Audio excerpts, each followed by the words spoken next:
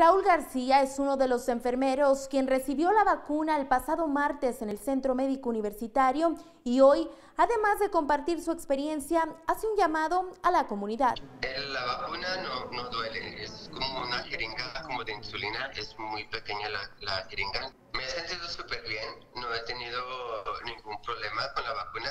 Uh, al principio un poco de, un dolor de cabeza Así respondió el cuerpo de Raúl García después de recibir la vacuna contra el COVID-19 hace siete días.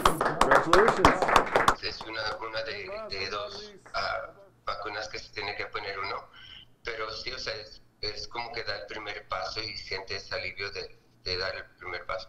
Un paso que nos acerca al final de la pandemia que sin duda ha dejado huellas imposibles de borrar. Lo más difícil que he vivido los últimos meses viene siendo uh, pues viendo a la gente sufrir, viendo a la gente uh, que, que fallece, viendo que fallecen solos. Lejos de sentirse seguro, este enfermero con ocho años de experiencia comprende el riesgo que el COVID-19 aún representa y vacunado no está al 100% a salvo.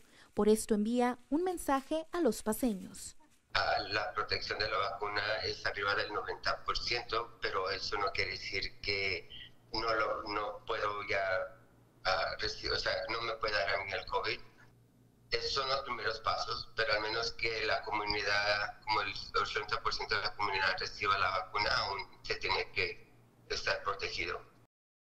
Raúl y el resto de sus compañeros recibirán la segunda dosis de la vacuna durante el mes de enero.